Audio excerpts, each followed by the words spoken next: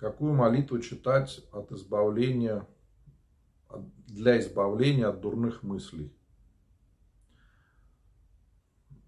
Можете читать все молитвы, которые вы помните. Можете читать «Отче наш», можете читать 90-й псалом, если знаете, очень хорошая молитва. Но чаще всего, когда нам приходят какие-то мысли в голову, важно вовремя переключиться и начать молиться. Поэтому лучше всего читать короткие молитвы. Можно просто говорить про себя «Господи помилуй, Господи помилуй, Господи помилуй». Даже вот три раза повторить иногда нам хватает, чтобы успокоиться, не поддаваться этим дурным мыслям.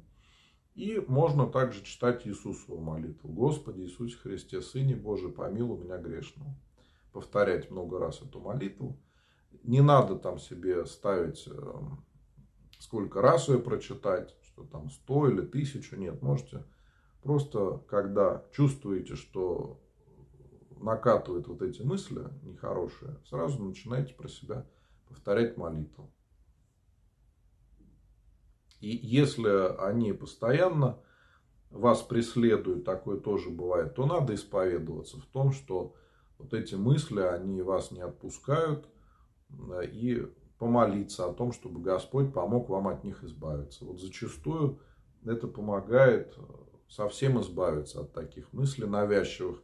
Потому что бывает так, приходит человек и говорит, у меня есть, ну, допустим, страх за детей или страх, что что-то случится, или еще какие-то навязчивые мысли, я все время об этом думаю.